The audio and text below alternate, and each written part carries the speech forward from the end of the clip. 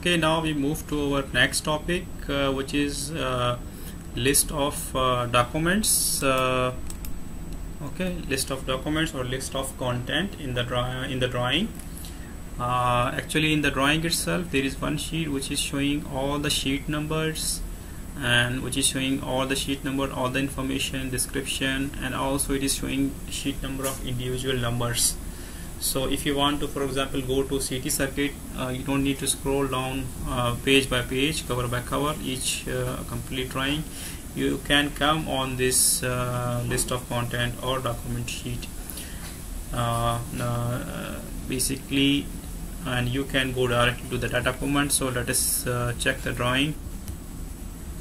Okay here this is the basically the required list of content or document sheet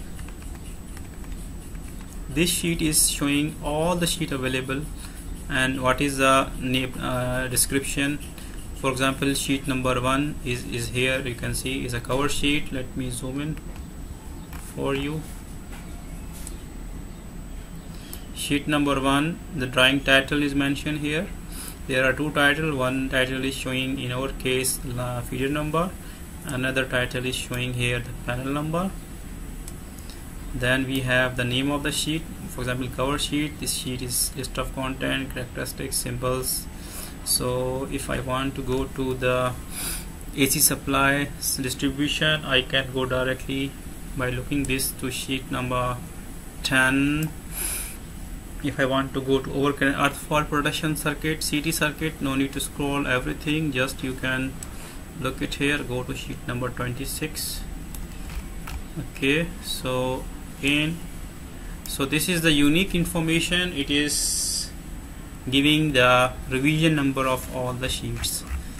So what they have done they have changed the sheet uh, if, uh, on any single modification on single page they have changed the revision number of all sheets. So this is one practice. Another possibility is they can change only the specific sheet number where you have a change. So for example if sheet number 1 has no change will remain in revision 0 and the sheet number 2 has change we can put it on revision 1 so there are different ways of tracking. So you can have another option like this drawing is now as built as manufacturer production. Just you have to make a cross. So this is how the revision numbers and and the list of uh, uh, content you can trace these things. Thank you very much